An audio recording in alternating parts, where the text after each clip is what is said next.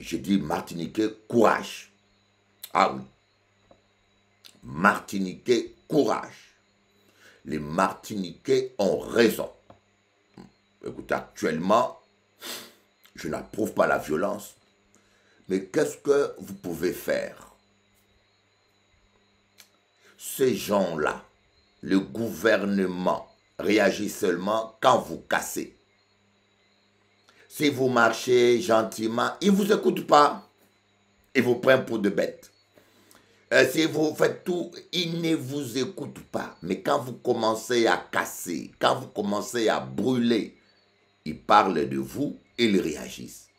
Mais ce sont des malades. Macron, Macron, les gouvernements, vous, vous là, les ministres français, mais, je vous, mais vous avez fait l'ENA, vous avez étudié, mais je vous trouve franchement sans mépris, mais vous, vous avez un problème dans votre tête. Et, et c'est un peu ça avec le gouvernement aujourd'hui. Il faut que les gens descendent dans la rue. Voyez, par exemple, à Marseille, il y a l'insécurité. Hein. À Marseille, il y a l'insécurité. Ils prennent des mesures comme ça, mais ça ne s'arrête pas. Mais le jour où les Marseillais vont descendre dans la rue, brûler les, les immeubles, casser tout, et là, vous allez voir, ils vont prendre des mesures vraiment draconiennes. Il fallait, ça fait combien de temps que la vie est chère? Est-ce que c'est maintenant qu'on le sait? Entre nous, est-ce que c'est maintenant qu'on sait que la vie est chère aux Antilles? Mais non, c'est de la méchanceté. Moi, je comprends le peuple martiniquais, et bientôt c'est la Guadeloupe, et c'est pas normal cette injustice. Les gens, la vie est 40% plus chère dans les dom qu'en France. Le gouvernement le sait et ne fait rien. Ça fait des années que c'est comme ça une population comme les Antilles, la Guadeloupe, la Martinique, la vie est 40% plus chère et il y a, combien je peux dire, 8 fois plus de chômeurs, 8 fois 40% de la population à 30% de la population est au chômage. Et la vie est 40 fois plus chère. Pourquoi? Parce qu'il y a une famille de béquets. Je ne dis pas que tous les béquets sont méchants ou mauvais. Parce qu'il y a une famille de béquets contre la loi détiennent le monopole. Monsieur Ayot, personnellement, je l'ai rencontré. Je le trouvais sympathique. S'il m'écoute, euh, Monsieur Ayot, euh, je suis étonné. Tu as assez d'argent quand même. Sois correct et juste. Il est sympathique. Moi, je l'ai vu, je le trouvais sympathique. Mais je ne comprends pas son attitude. Est-ce que c'est lui qui. Est-ce que c'est lui ou bien c'est son entourage qui l'influence parce qu'il a un certain âge? Oui, mais il détient 40% du marché, ce qui est contraire à la loi. Toi, tu ne payes pas tes impôts. La loi vient te saisir tes, tes biens tu ne payes pas ceci, on vient, tu comprends? Le petit délinquant qui vole un vélo, vélo on l'harcèle. Eh, mais ce grand monsieur qui, contre la loi, détient 40%, ce qui est interdit par la loi, un groupe ne peut pas détenir plus de 25% du marché parce que ça tue la concurrence. Si quelqu'un vient s'installer ici, voyez, quelqu'un vient s'installer ici à Paris, en Guadeloupe, il crée son supermarché. Mais pour importer la nourriture, il doit passer eh, par le port détenu par le concurrent, le groupe Ayotte.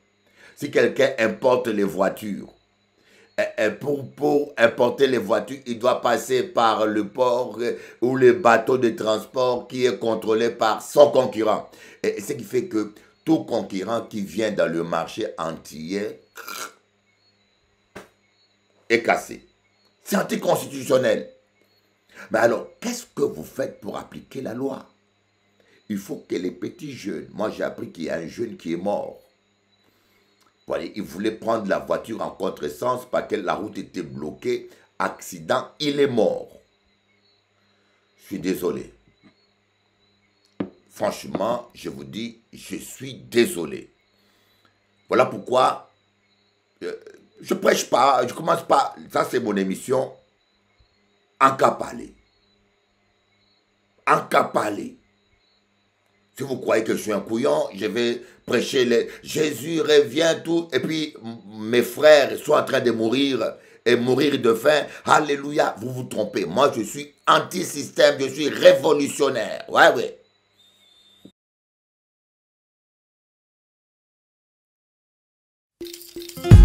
C'était l'histoire d'une jeune femme que j'étais allé visiter chez elle à la maison. Elle était triste et elle pleurait et croyait plus au bonheur.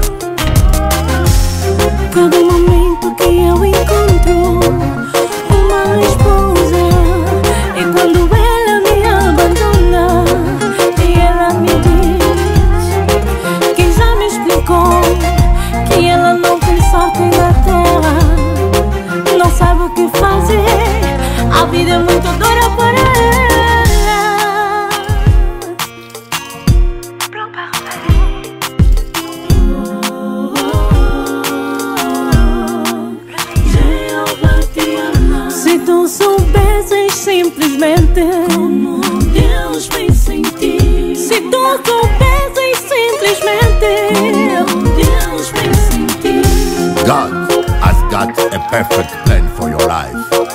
Dios tienes un propósito maravilloso para tu vida. Dieu a un plan pour ta vie, ma soeur. Arrête de t'inquiéter et de pleurer. Aie foi en Dieu. Le bonheur et la grâce t'accompagneront tous les jours de ta vie.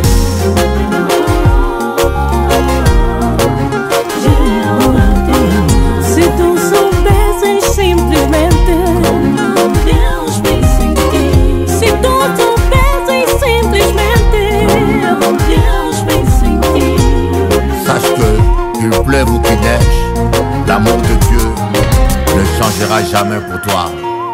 Jésus était venu mourir à la croix pour toi. Si Dieu a donné son Fils unique pour toi, comprends ta valeur devant lui. Tu as une valeur incomparable pour Dieu. Il va te bénir.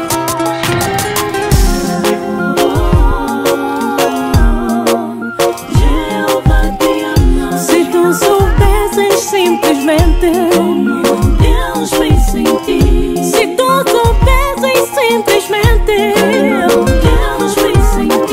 Voyez, le vrai problème, c'est qu'il nous faut faire le choix de Dieu. Une femme peut être bien, un homme peut être bien, mais s'il n'est pas celui qui t'a été destiné, tu seras toujours déçu. Alors il faut te laisser guider par le Saint-Esprit pour tomber sur la bonne personne. Il faut laisser le Saint-Esprit te guider, qu'il soit ton berger, et il va te conduire sur le bon chemin.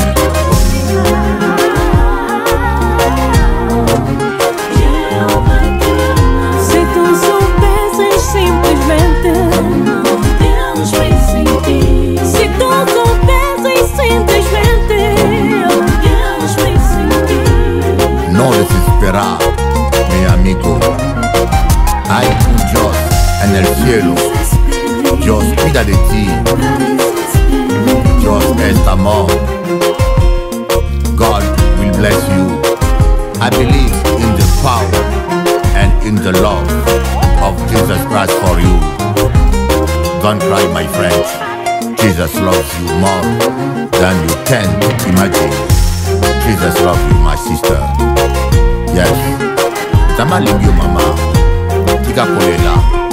Okomisala mpasi na motema pamba oyebi ntango oza kolela mbula ekondoka na kati ya motema na ngai. Bamosama ya miso mama. Tolia na bilota kofuna biso ya moke na kwanga nzambe akopambola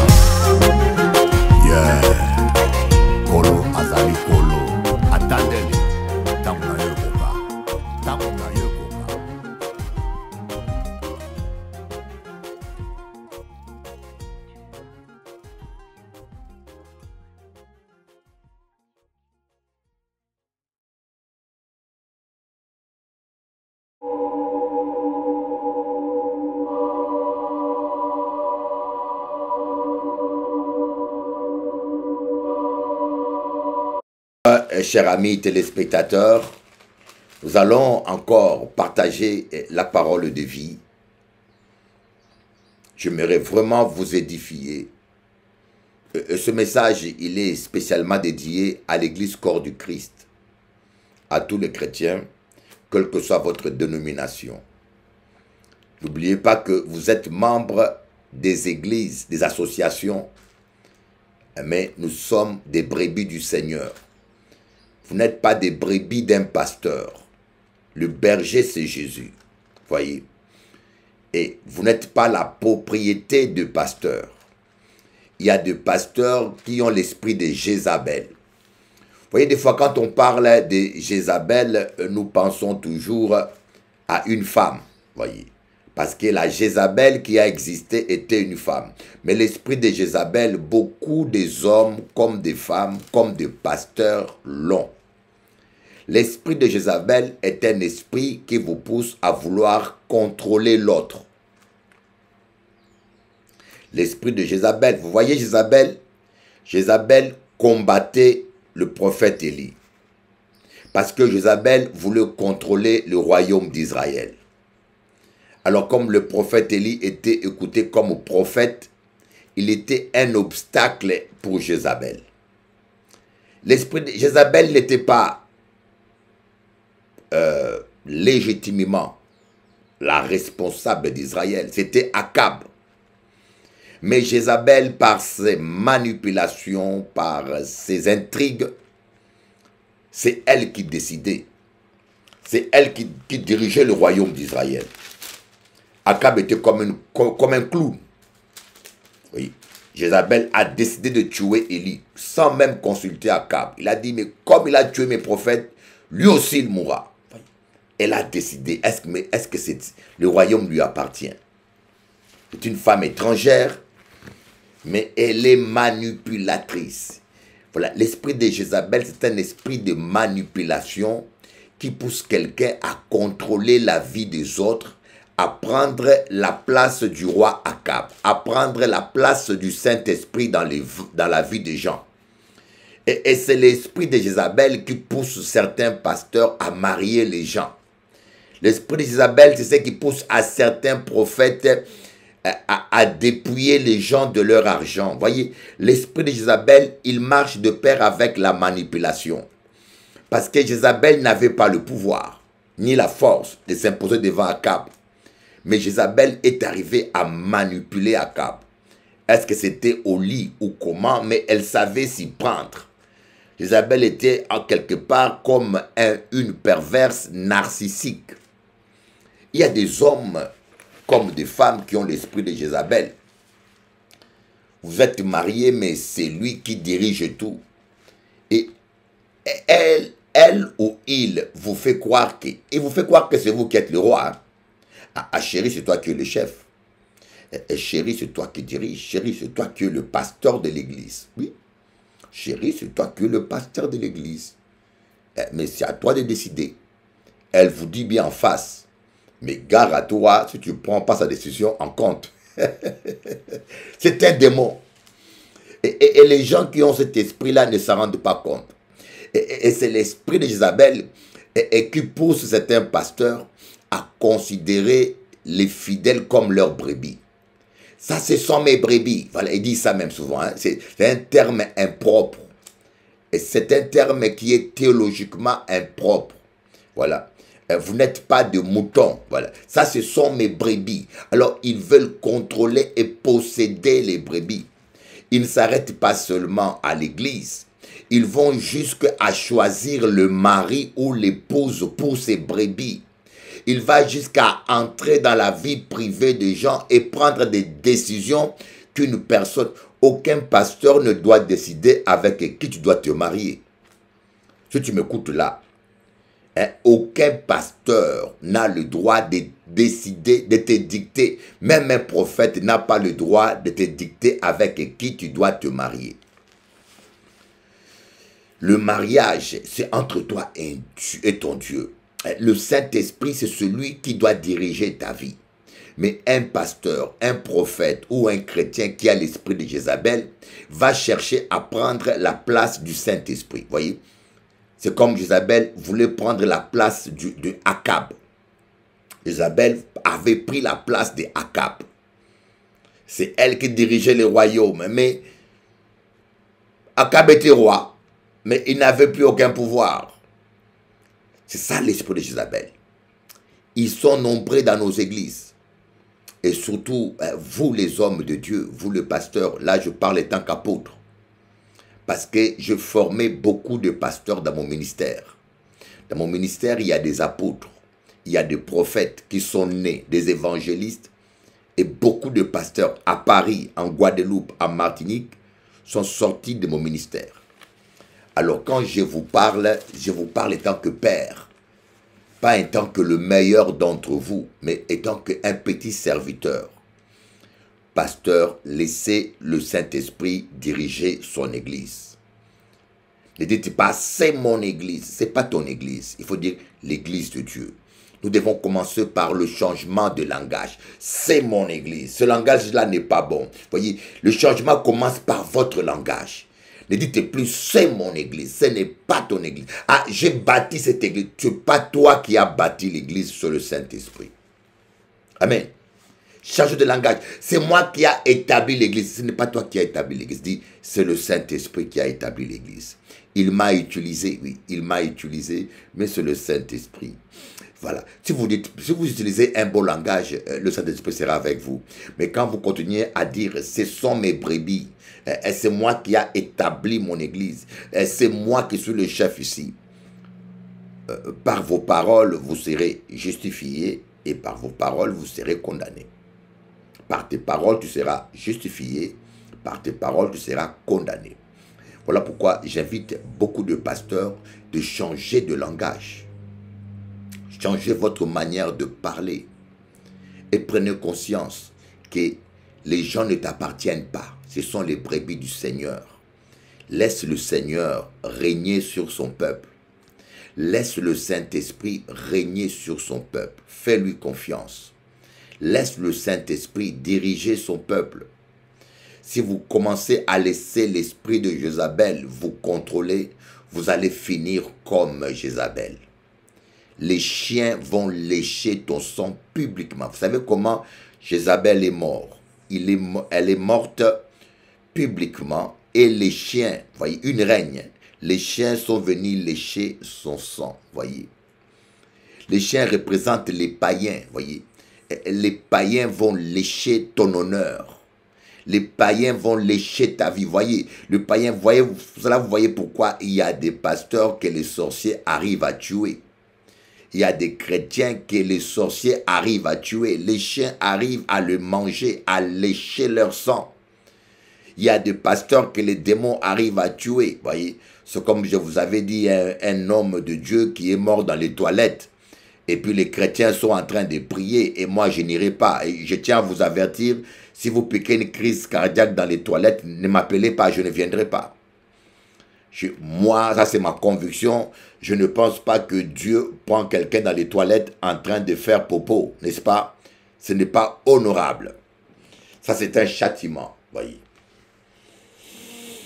L'esprit de Jézabel détruit les églises, détruit des vies. J'aimerais vous raconter l'histoire d'un pasteur qui avait l'esprit de Jézabel ici, en Martinique, en Guadeloupe. C'est un pasteur martiniquais. Euh, euh, je pense que peut-être qu'il me suit.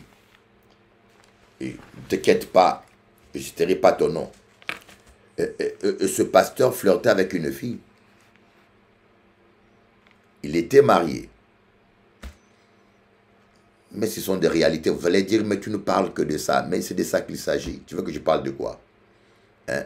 Ah, tu ne parles que de ça. Mais c'est de ça qu'il s'agit, mes amis. Vous voyez pas que l'Église aujourd'hui n'est pas puissante.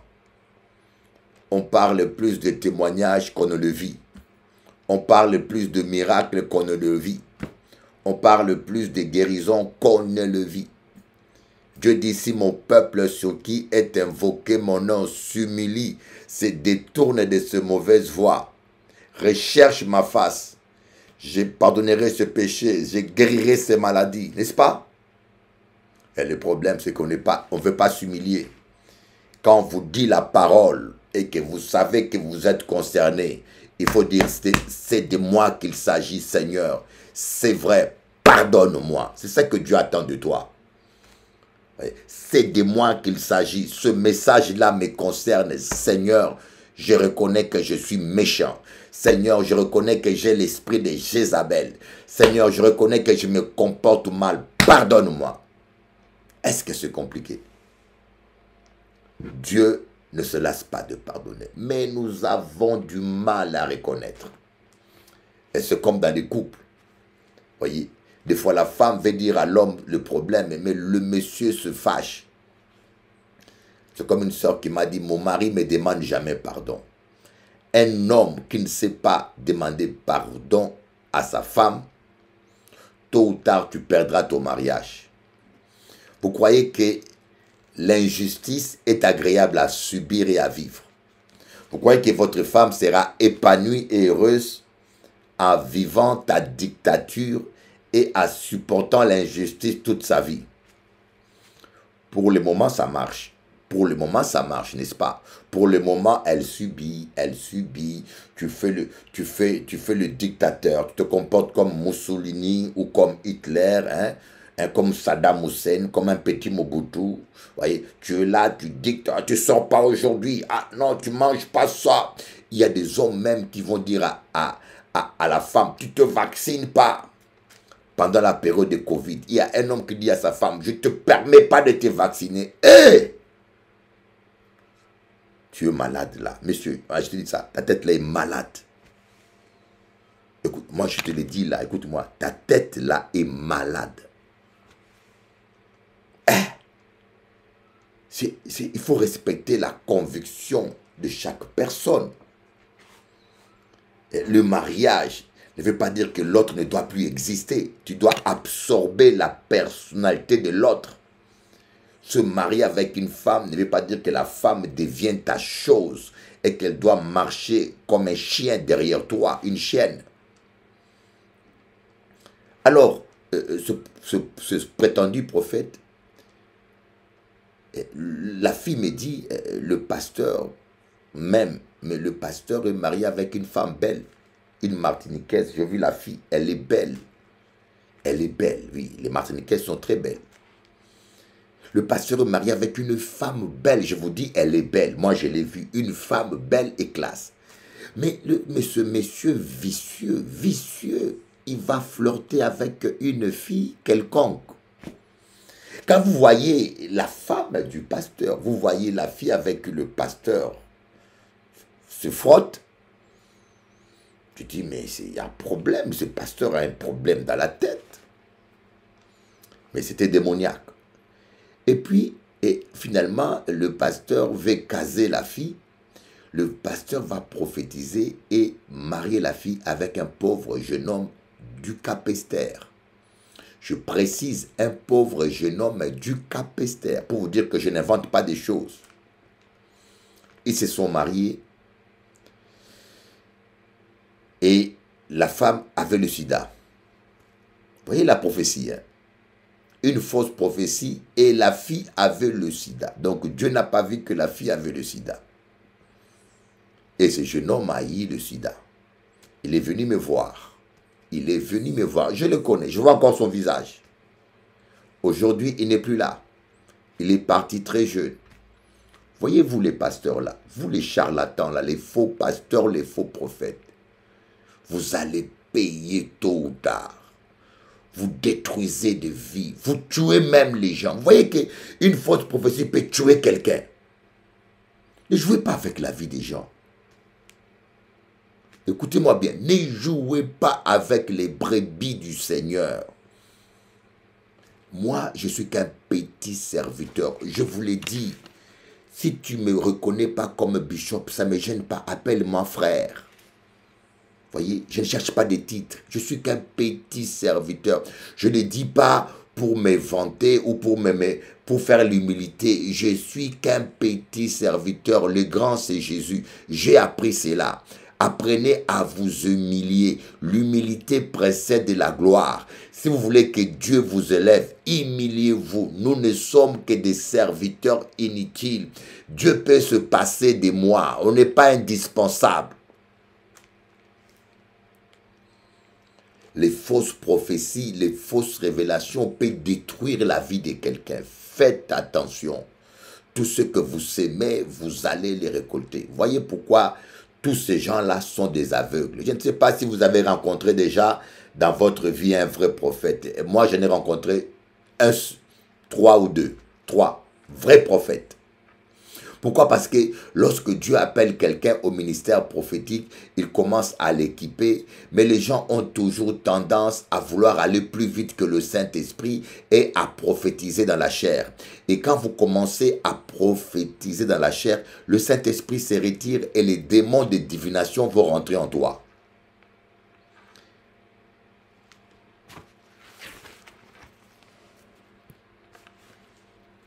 Vous allez me dire, Bishop Eli, tu parles bien.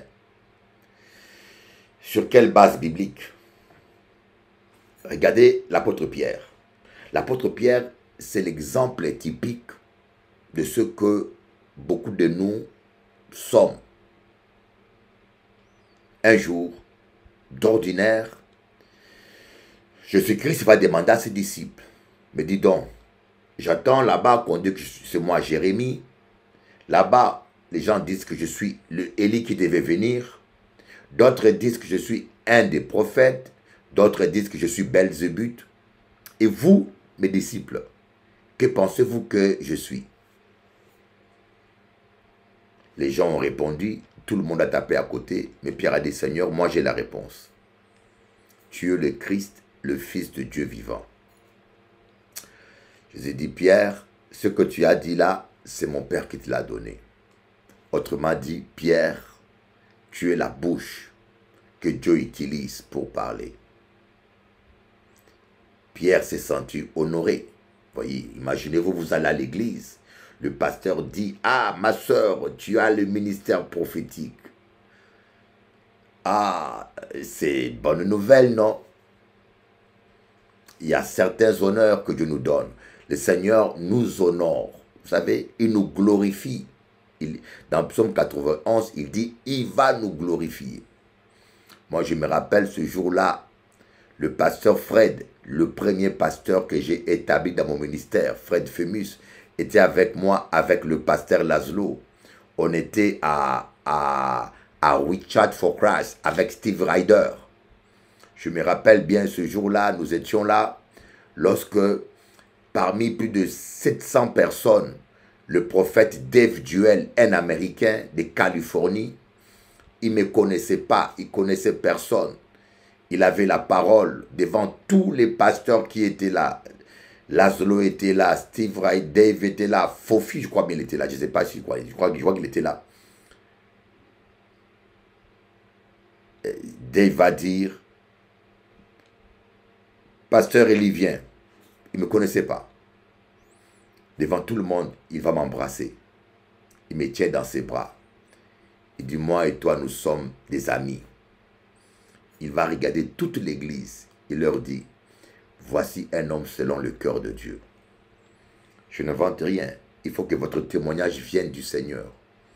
Laszlo peut témoigner. Laszlo peut témoigner. Fred Femus peut témoigner. Fofine Delo peut témoigner. Devant tout le monde, il leur dit, voici un homme selon le cœur de Dieu. Ça fait du bien, n'est-ce pas? Eh bon, C'est un peu ce qui est arrivé à Pierre. Pierre a été honoré. Mais quelques jours après, on ne dit pas combien de temps après, quelques jours ou quelques heures, Jésus va commencer à annoncer sa mort. Il va leur dire, euh, il faudra, il faut que le Fils de l'homme soit arrêté, qu'il soit livré, qu'il soit maltraité, il souffrira de la part des hommes. Alors Pierre, avec son audace, il a dit non, Seigneur. Moi, je suis la bouche autorisée de Dieu. C'est moi qui ai eu la révélation que tu es le Fils de Dieu. Et je t'ai dit, toi, tu ne vas pas mourir. Tu ne dois pas souffrir. Tu dois régner. Moi, je serai le premier ministre et toi, tu seras le roi. On aura des sous. Voyez, Jésus a dit, arrière de moi, Satan.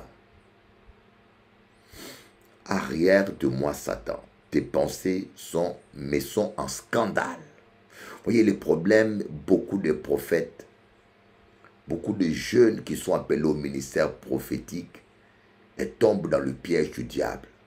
Parce que vous voulez vous prophétiser dans la chair. Certains ont eu vraiment l'appel de Dieu et les dons de Dieu, mais ils ont commencé à prophétiser dans la chair. Quand les gens viennent te voir, quand les gens viennent te consulter, quand tu n'as rien, dis-leur je ne vois rien.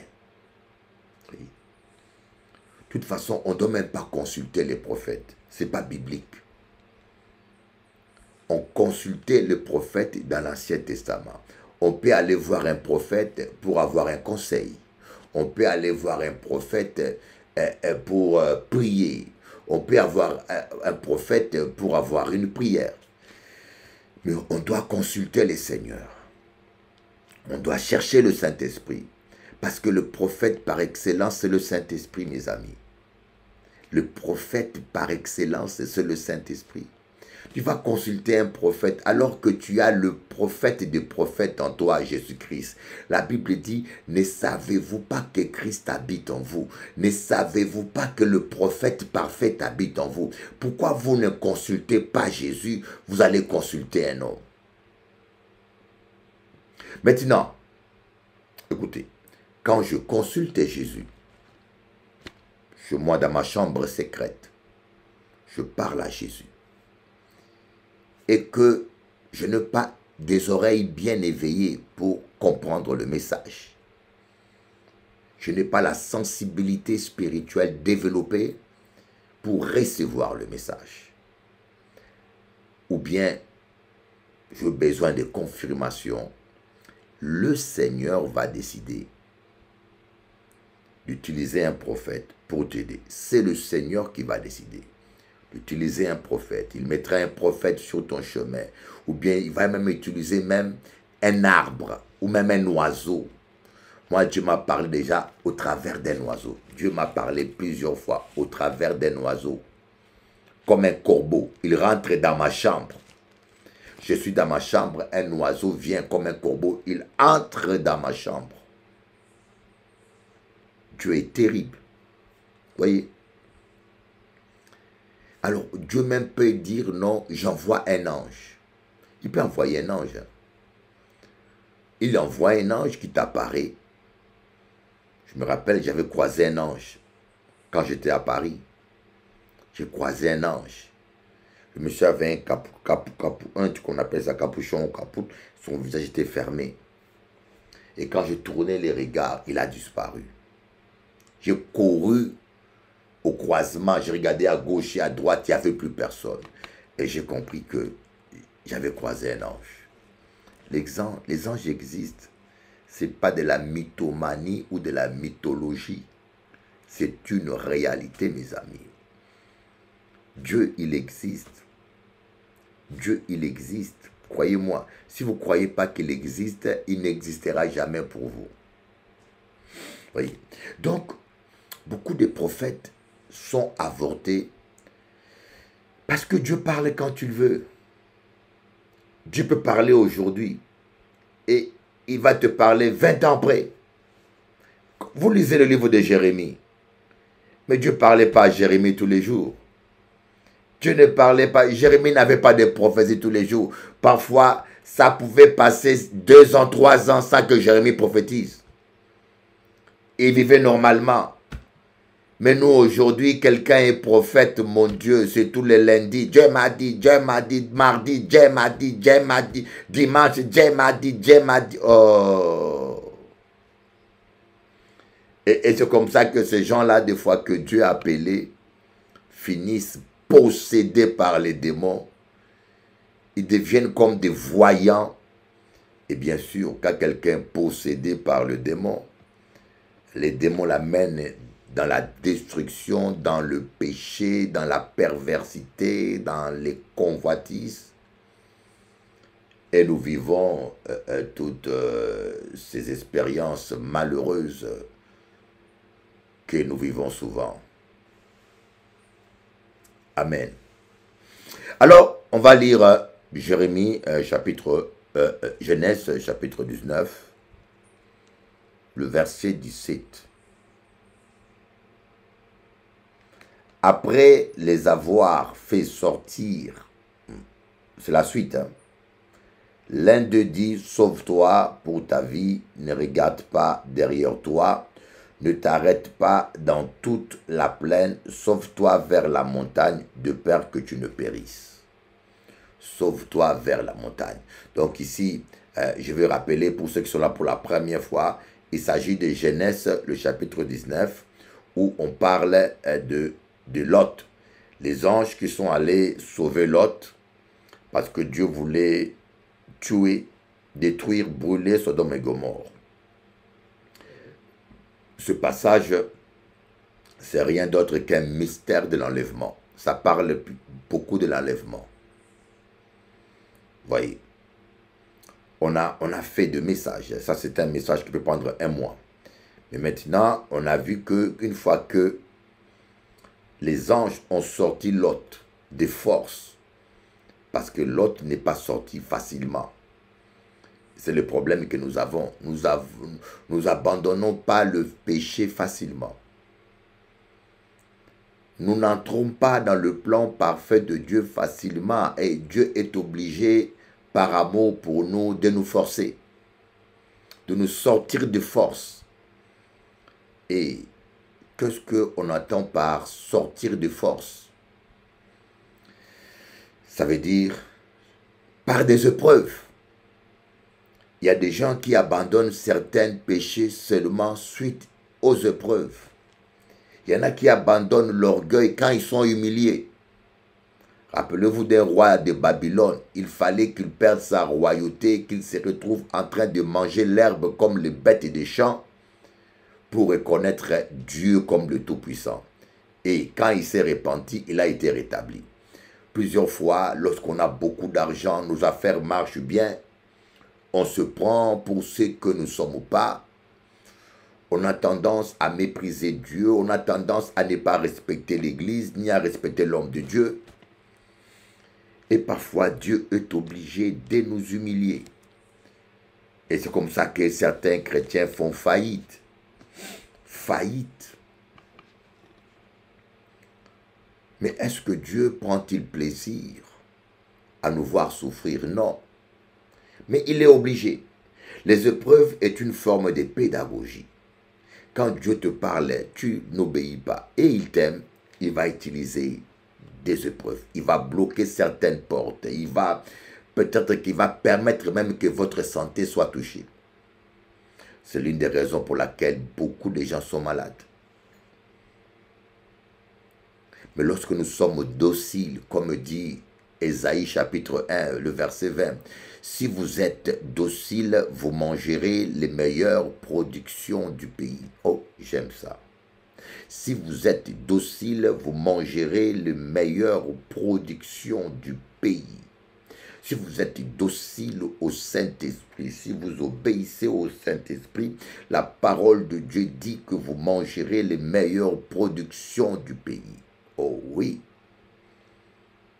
Voyez, si vous êtes docile, et lorsqu'on parle de la docilité, c'est la croix, mes amis. C'est la croix. Croyez-moi, euh, dans nos églises, il y a des gens qui sont plus susceptibles que les païens. C'est incroyable. Je vous dis la vérité, dans l'église, les chrétiens parfois sont plus susceptibles que les païens. Je vous dis la vérité. Par exemple, moi, je fais deux albums avec Jacob de Varieux. Je ne sais pas si vous comprenez ce que représente Jacob de Varieux à l'époque. Maintenant, j'espère qu'il est auprès du Seigneur. Je le souhaite. Mais je ne peux pas dire où est-ce qu'il est. hein. Mais le monsieur, il a inventé le zouk. Il a fait des disques d'or. Plusieurs fois des disques d'or. Mais Dieu m'a mis un jour en face de lui. Je l'ai témoigné Jésus. On a fait toute une journée de Kida. Mais moi, Bishop, le petit Élie, dans la musique, je ne vaux rien. Euh, J'ai un don. Tu m'as donné un don de compositeur. N'importe quelle musique que tu mets là, j'ai la mélodie qui me vient. J'ai un don. Maintenant, j'ai plus de 1200 chants. 1200 chants inédits que j'ai composés. Mais par contre, arrangement, kida, machin, on pas connaître ailleurs. On fait la musique avec Jacob. Je lui dis, mais, mais ce que tu joues là, je veux pas. Je veux que ça sonne comme ça. Mais le gars n'est pas vexé. Il obéit. Le grand Jacob. J'étais impressionné. Voilà, là, je vis que c'est un grand musicien. Les gars m'écoutent. Dis non, mais non, comme tu joues là, mais le grand, le monsieur a fait des disques d'or. Il n'est pas vexé. Mais tu prends des petits chrétiens là, hein, jouent à peine d'art, basse, piano, ils jouent piano, fautant, ils, ils se débrouillent. Mais tu peux rien lui dire. Je vous dis, j'ai fait la musique avec des chrétiens au studio. Tu peux rien lui dire. Tu dis à un chrétien, ce que tu joues là, c'est faux. Oh, oh bah, hein? Mais il est chrétien. Je vous dis, le gars, il ne connaît rien dans la musique. Il n'a même jamais fait un arrangement. Il n'a même jamais fait un album. Et c'est la première fois qu'il va des fois au studio avec toi. Mais il veut t'apprendre. Il ne supporte même pas que tu dises que tu joues faux. Un jour, j'ai amené deux chrétiens, musiciens. André Condouran, lui, il était jazzman. hein. Le plus grand guitariste de la Guadeloupe, André Condouran. Paix à son âme, il est auprès du Seigneur. Il était avec moi au studio, avec notre guitariste dont je ne citerai pas son nom. Mais André Condouran, c'est un musicien. Il a joué avec les plus grands du monde. Il a joué le jazz avec les plus grands musiciens du monde, aux États-Unis, partout. On est au studio, il dit à l'autre guitariste, est-ce que tu joues, c'est faux. Aïe Les gars ne connaissent, il- il- il était guitariste, hein, il joue bien, hein, il était guitariste. Mais il n'avait pas le niveau d'André Condoran. Le gars s'est fâché, un chrétien. Il l'a insulté au- studio devant les païens. Il a dit, tu as la chance que je n'ai pas mon fusil, je t'aurais fusillé. Un chrétien. C'est ça le problème. Les chrétiens ne sont plus... Aujourd'hui, vous appelez quelqu'un chrétien, mais il est plus susceptible qu'un païen. Ils connaissent même pas. Tu ne peux pas dire à un chrétien qui chante faux. Ah Laissez-les vous ennuyer. Il doit chanter faux, vous souriez, gloire à Dieu. Parfois, c'est difficile de travailler avec un chrétien. C'est difficile. Il se dit chrétien. Voilà, voilà. Il y a chrétien spirituel les filles de Lot, représentées par les filles de Lot. Il y a les chrétiens charnels qui sont représentés par les gendres de Lot. Les chrétiens charnels, ils sont incontrôlables. Et c'est ça le problème. Ce sont ces gens-là que vous mettez diacre, vous mettez ancien, vous mettez... euh, euh, ce matin, je parlais avec un frère, je lui dis, bon, pasteur de Cordée, paix à son âme. Voyez, paix à son âme. Il a fait un bon travail. hein. Quand je suis venu ici, c'est le premier pasteur entier qui est venu se joindre à moi pour me soutenir. Quand le réveil a commencé, il était à Saint-Martin, il est venu ici en Guadeloupe, suite au réveil que Dieu a démarré par mon ministère. Mais la seule chose que je reproche, il nommait tout le monde pasteur, il nommait trop les gens. Il nommait les gens pasteurs à tort et à travers, il nomme ça, lui, celui-là, prophète. Des nouveaux convertis, des gens qui ne sont même pas brisés. Des gens qui ne sont pas délivrés ni brisés. Mais dès que tu le mets prophète et prophétesse, dès que vous, vous amusez à nommer les gens comme ça. Après, ils sont difficiles à changer. hein. Ils ont la tête grosse comme ça, comme le pastèque. Tu ne peux plus rien lui dire. Amen. Soyons humbles, mes amis. Soyons humbles. Saint-Esprit, j'ai décidé de marcher dans l'humilité. Va prier. Saint-Esprit, j'ai décidé de marcher dans l'humilité.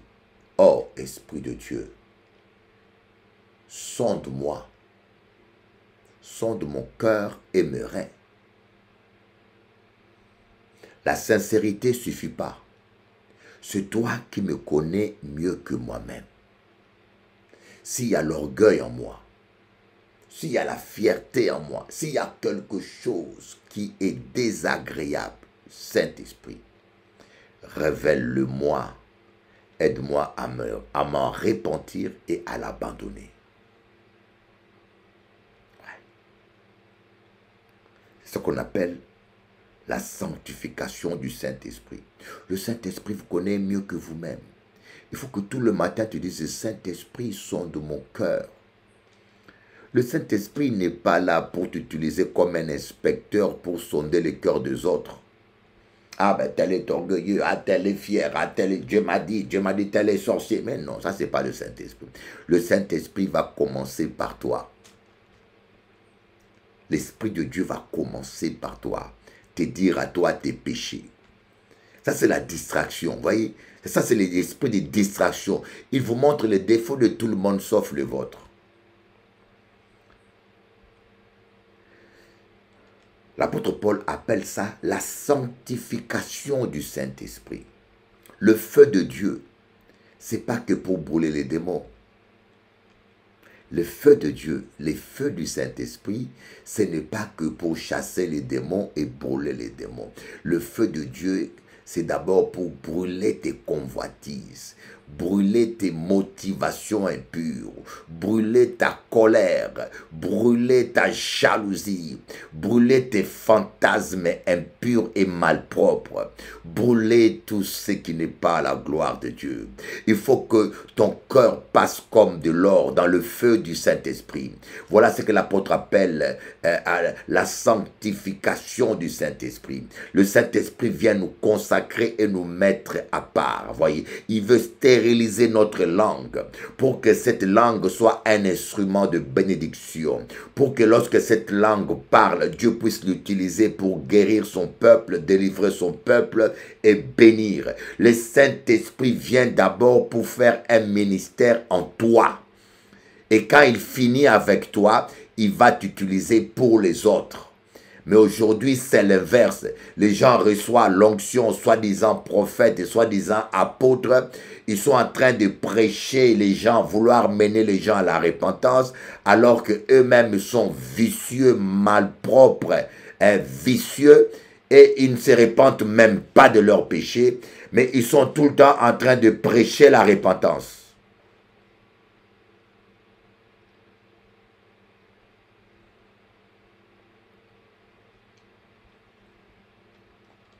Ah, Saint-Esprit. Voilà pourquoi vous devez tous les matins, après avoir demandé le pardon du péché, dire Saint-Esprit, mets en moi euh, les sentiments qui étaient en Jésus-Christ.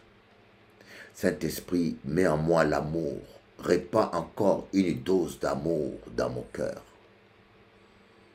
Apprends-moi à aimer. Saint-Esprit, aide-moi, apprends-moi à aimer mes ennemis. Saint-Esprit, apprends-moi à pardonner. Apprends-moi à, à être doux et à supporter ma femme. Apprends-moi à être doux et à supporter mon mari. Donne-moi un cœur comme le cœur de Jésus. Je ne cherche pas le succès en priorité. Je cherche que Christ soit connu.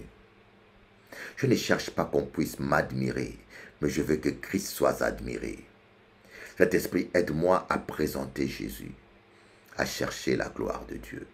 Et si je ne suis pas digne de cela, ne m'utilise pas, Seigneur.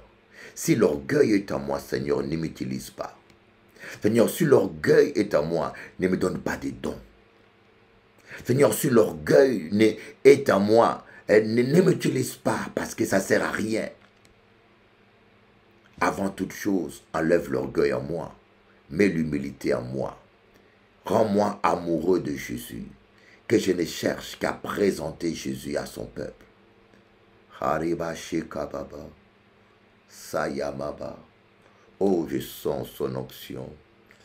Je sens Harikama Hayama Sayamama Hayamama.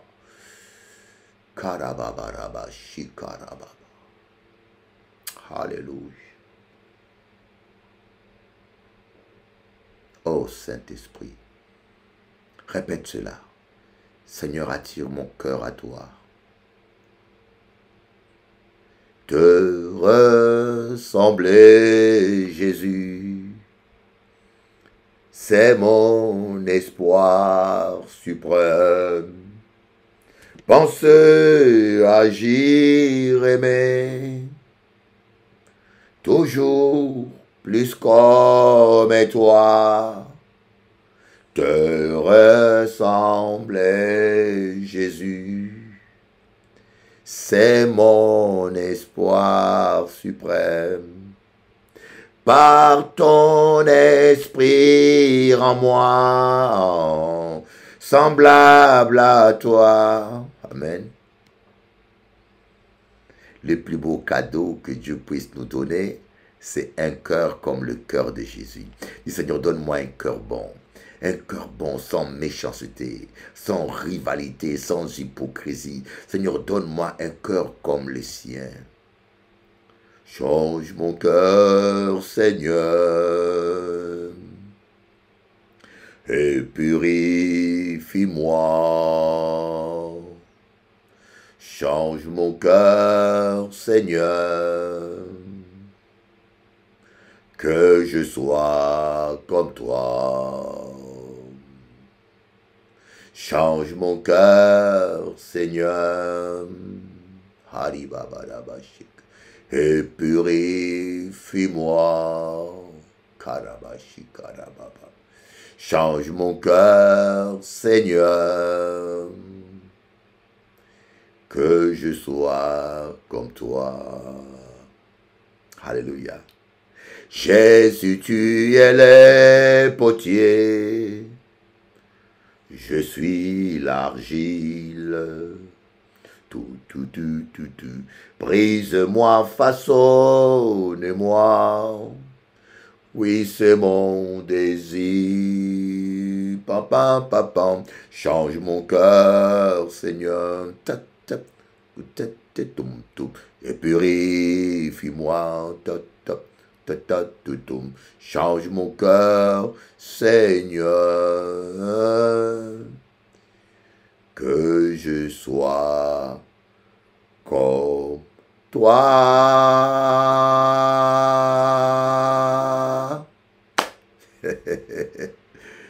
que ma vie te glorifie, mm, te glorifie. Que ma vie te glorifie, Seigneur. Te, te, te, te, que l'Église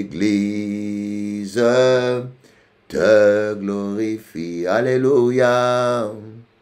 Oh, que l'Église te glorifie, Seigneur. Alléluia. Amen. Que Dieu nous change. Que Dieu brise en nous toute résistance. Dis Seigneur, change-moi. Enlève en moi toute forme de méchanceté. Change-moi. Je veux être comme toi. Je veux te ressembler, Jésus. Je veux parler comme toi. Saint-Esprit, remplis mon cœur d'amour pour Dieu et pour mon frère et ma soeur. Voyez, le plus grand, vous savez, j'ai remarqué que et souvent, nous les chrétiens pentecôtistes, nous aspirons plus à la foi qu'à l'amour. Ah j'ai remarqué ça. Je ne sais pas si vous avez déjà remarqué ça. Nous les chrétiens pentecôtistes, nous aspirons plus à la foi, au miracle, à la puissance qu'à l'amour. Pourquoi? Parce que nous sommes souvent vaniteux entre nous pasteurs. Qui dit puissance, du célébrité. Vous voyez comment Tibi Joshua était connu? La puissance. Qui dit puissance, miracle, tout ça, ça rime avec célébrité, richesse. Voilà pourquoi nous aimons beaucoup la puissance. Qui dit puissance dit gloire. L'amour, c'est le plus grand, l'apôtre Paul a dit. L'amour, celui qui aime est né de Dieu. À ceci, les disciples sauront que vous êtes mes disciples si vous vous aimez les uns les autres. L'amour, c'est l'humilité. L'amour ne se glorifie pas, l'amour ne se vante pas. Cherchons d'abord l'amour. Cherchons d'abord l'amour. Et quand vous cherchez d'abord l'amour, la puissance viendra. Quand vous cherchez l'amour d'abord, la puissance viendra. Une plus grande puissance encore. Une plus grande. Parce que le Saint-Esprit vous fera confiance parce qu'il sait que vous allez chercher que la gloire de Dieu que vous n'allez pas chercher votre gloire. Amen. Que Dieu nous aide. Que Dieu nous apprenne à chercher sa gloire d'abord. Que Dieu nous apprenne à nous réjouir de la réussite des autres. Que Dieu nous apprenne à marcher dans l'amour. Voilà un peu la fin de mon partage d'aujourd'hui. Et demain encore, nous allons continuer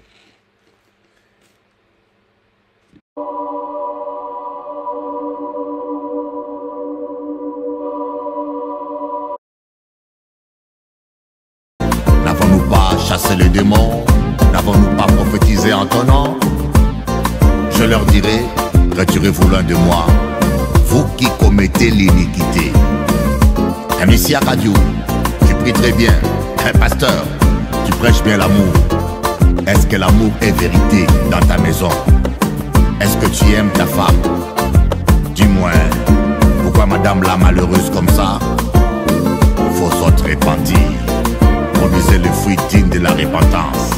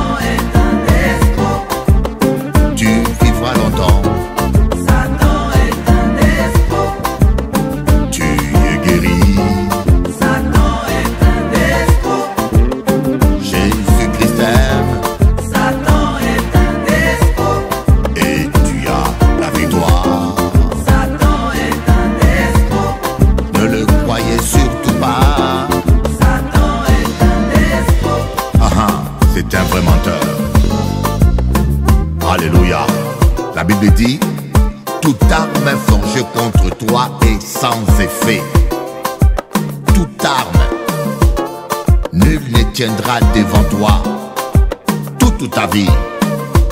Mais il faut demeurer dans la